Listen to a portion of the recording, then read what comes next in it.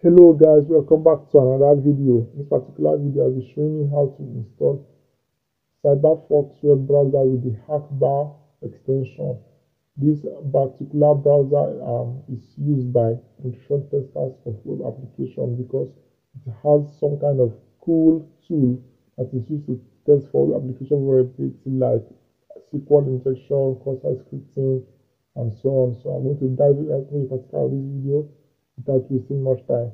So I'm going to um, come into my web browser and I'm going to search in for uh, CyberFox, okay, Linux. First website I came up is uh, sourceforge.net, which I'm going to be downloading the web browser from the CyberFox browser, okay. So I'm going to open it now, and as you can see, we have the download, which is you see download latest version of CyberFox for 2.9.1 US Linux 86 and 64 Debian file. Okay, so I'm going to hit on it, click on the download, and it's going to tell us the download will start shortly. All right, so we're going to wait for it. Uh, as you can see, it's going to prompt us with the download distance. we are going to save it to file. I'm going to click save to file and hit OK.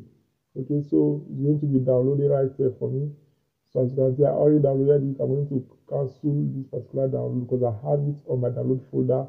If you have not downloaded it, let yours go through. Most of this video I've downloaded it, so I won't waste much time in making this video. Okay, so what we have to download again is the Hackbar extension.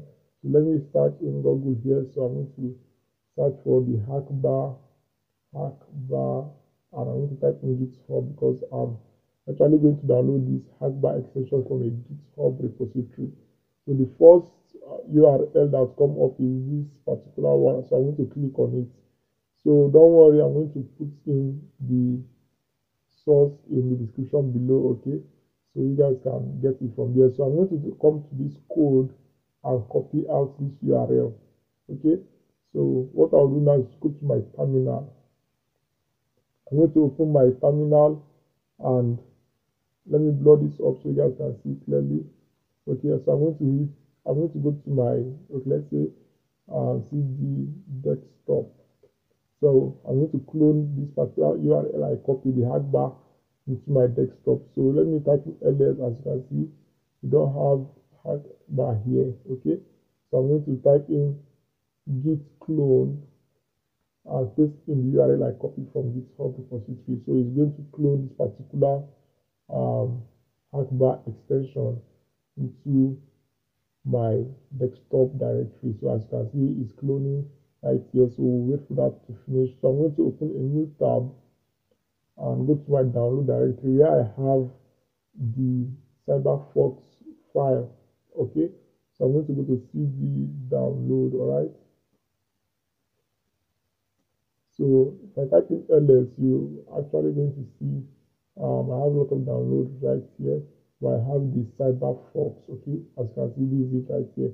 CyberFox listing. So what I have to do now is um, let me do let me reduce this so you guys will be able to see what's happening. Okay. Um, okay, so let me clear my screen. I'm going to type in dpkg like this and dash i. So i'm going to start typing inside that which is capital and you see i the tab button it auto complete because i have this cyberfox file on my download directory.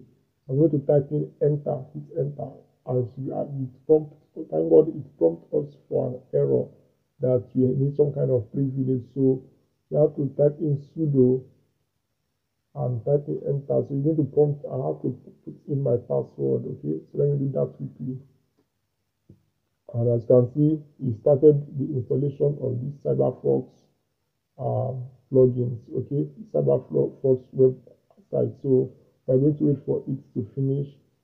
So before as we finish waiting for it to finish, so I'm going to come to my application menu and type in CyberFox. Okay cyber for I see we have it right here. So if you follow the right the steps that I showed you, we're going to have this here too also okay?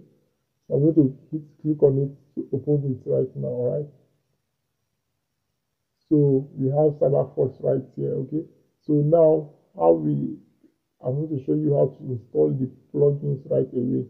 So as you can see this particular let me zoom this this particular um, cyber logo here we are, we are seeing you click on it you see these add-ons because it's kind, it's kind of extension the hack bar is kind of extension. I'm going to click on the add-on and click on this setting tab right here. Let me zoom this a little for you guys. So you can see this setting tab. I'm going to click on it and you see install from a file install add-on from file all right so i'm going to click on it too. And i'm going to go to my desktop because that's where i cloned the github hack bar um, to, uh, to my desktop. So as you can see, we have Hackbar file right here. So I'm going to click on it and we are going to click on this particular Hackbar here. As you can see, we have several versions. So whatever version you feel cool is fine, but I'm going to go to this particular version, this Hackbar version 2.9. I'm going to hit open and that should be it okay? So as you prompt us with the installation here. I'm going to hit install. And we actually have installed it so we have to restart the cyberfox browser for it to actually take effect. So let's wait for it.